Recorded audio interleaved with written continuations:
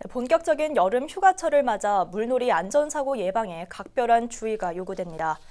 지난해 질병관리청에서 발표한 전국 23개 병원 응급실 익수사고 현황을 보면 지난 2015년부터 4년간 모두 673명의 익수사고 내원 환자가 발생했습니다. 익수사고 원인으로는 여가 활동이 47.8%로 가장 높았으며 발생 장소는 바다와 강을 포함한 야외가 56.2%로 가장 높은 비중을 차지했습니다. 시기별로는 본격적인 휴가철인 7, 8월에 39.7%가 집중된 것으로 나타났습니다.